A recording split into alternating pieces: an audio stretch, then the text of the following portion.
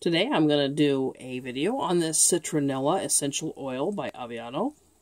This is a really nice oil, has an extremely nice scent. It has a dropper lid on it. It comes in a glass bottle.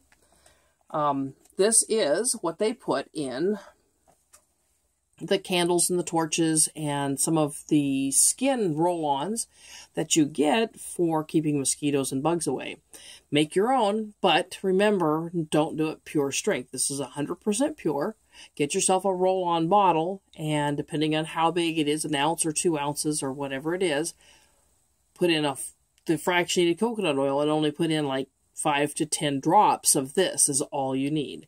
This will last you a while. Doesn't look very big, but it will last a long time. Now you can put this into your diffusers outside, which will also have the uh, added effect of keeping the bugs away.